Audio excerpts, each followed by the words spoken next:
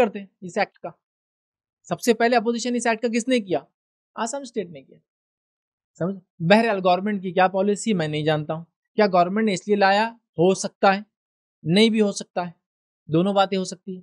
लेकिन हमको इसके ऊपर कुछ क्लियर वो नहीं आया क्या गवर्नमेंट ने ये तेरह लाख बचने की बात किया? लेकिन इतनी बात तो मालूम है। आसामी लोगों ने डिमांड किया एनआरसी आसामी लोग रिज़ल्ट से खुश नहीं हुए। सी डिमांड किया गवर्नमेंट ने। आसामी लोग से खुश नहीं हुए। और एनआरसी और सी से पूरा भारत खुश नहीं हुआ इधर। मतलब ये कानून से ना आसामी खुश नज़र आए, ना जो है आवाम दीगर लोग जिसको हम कहेंगे भारत की भारतवर्ष की आवाम खुश नज़र आई। तो कोई खुश नहीं हुआ इस एनआरसी से नहीं उससे। मतलब आसाम के लोगों ने डिमांड करके लाया था, लेकिन उन्होंने बाद में सीए आने के बाद अपोज किया। तो क्या इन्होंने